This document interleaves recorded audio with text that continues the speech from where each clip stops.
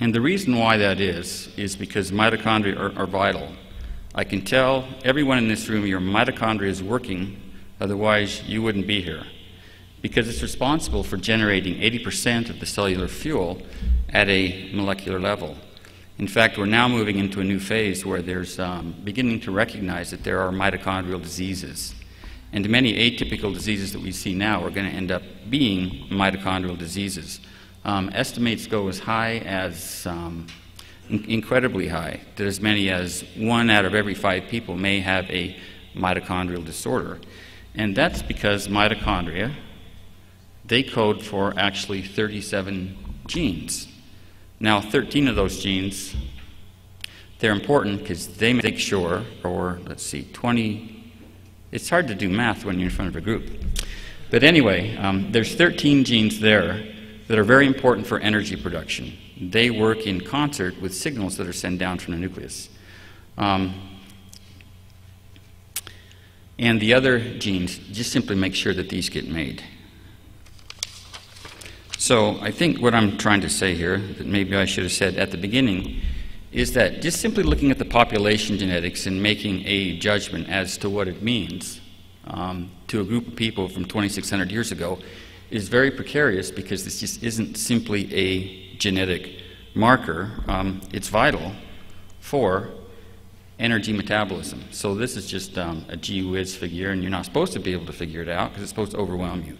Um, with, with, with all of the metabolic pathways that's actually driven by mitochondrial DNA. So actually we found that, that when a cell develops pathology, for example, um, cancer develops, in some cases, it shows up early in the mitochondrial DNA in the form of alterations in this simple genetic, genetic alphabet.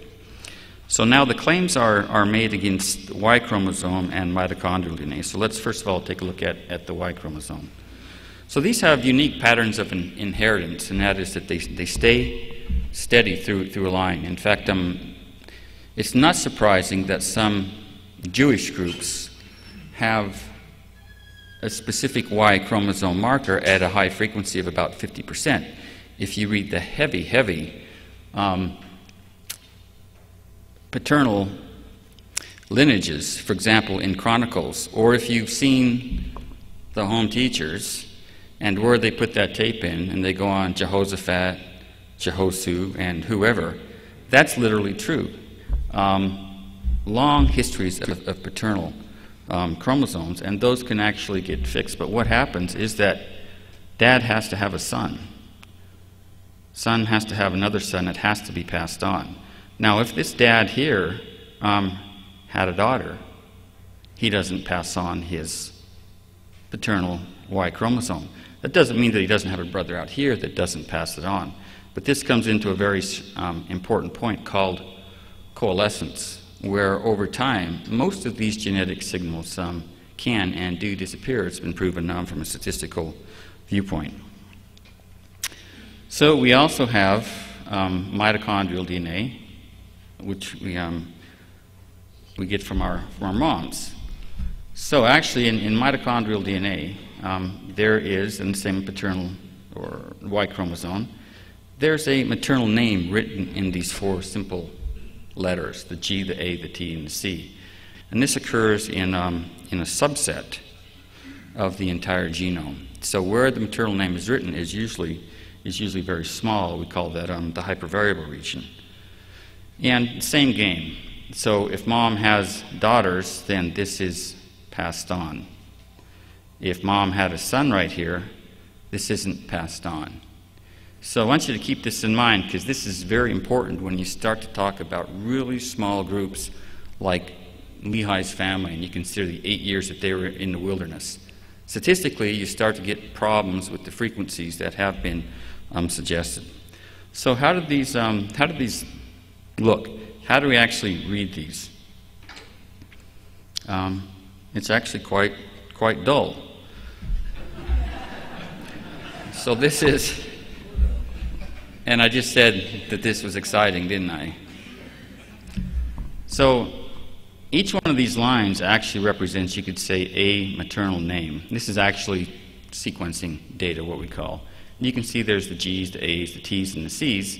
And then down here, the software, and I should say that without the advent of computers, this would be impossible. And now, um, many large companies like IBM are trying to get interested into these types of biosciences because there's so much information that needs to be decoded, and because of the coming revolution in healthcare, um, they see these as, as tremendous um, revenue generators. So, one thing I, I forgot to mention, um, sort of the blue sky of all this, is that in not too distant future, you'll go into, the, into your physician and you'll swipe a card, and it'll say, okay, well, Scott Gordon back there, he doesn't respond very well to ibuprofen because he has this particular gene, but we know aspirin works for him.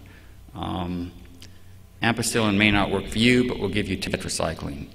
So all these things will become a very highly practiced um, type of, of science, and things will be treated long before they show up clinically because they'll be anticipated at the DNA level. So all this information is, is inter- interestingly, once again, written, written in this code. But for our purposes here, so what happens if you look at this little dot right here? The software gives us this um, this heads up and says, well, there's somebody here that doesn't match. So if you run up all these T's, we see, aha, there's a C right here. So this person actually has a different name simply because this differs by one letter of the genetic alphabet. And the same here. So you can imagine the problem with trying to handle all of this data when you're looking at populations of people that have billions of um, pieces of information.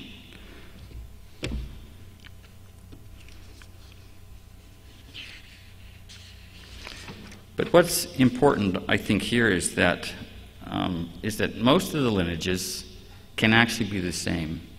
And most of them probably swamp this particular individual here. And this is a sampling of a large populations of people from um, Thunder Bay, Ontario, Canada.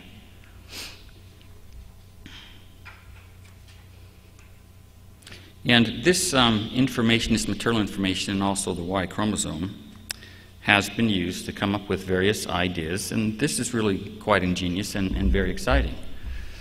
Is that there's been multiple migrations um, out of Africa. You've probably all heard of the seven daughters of Eve, and you can send in your DNA, and they'll tell you which Eve you came from, and Adam, and, and all that type of thing, which are interesting commercial ideas. But so from this, um, and the caveat is these are, once again, modern populations. So we can see that um, Native Americans really, scientists aren't very inventive because they have four maternal names A, B, C, D, and X. That's not very exciting, is it? But um, it looks like, really, from areas here in Siberia, that many of the modern day signatures actually well, actually, but they, they do match um, these people coming out of Siberia. And to a lesser extent, there are some haplotypes in Asia that match as, as well. But it, it's these major four, and I think that's, um, that's here's where the claims come that, well, sheesh, Native Americans have these haplotypes, and uh, where are the ancient Near Eastern haplotypes when we look at modern DNA? Um, but another important thing to notice is that there are different distributions of these haplotypes. And that's another thing that comes into play.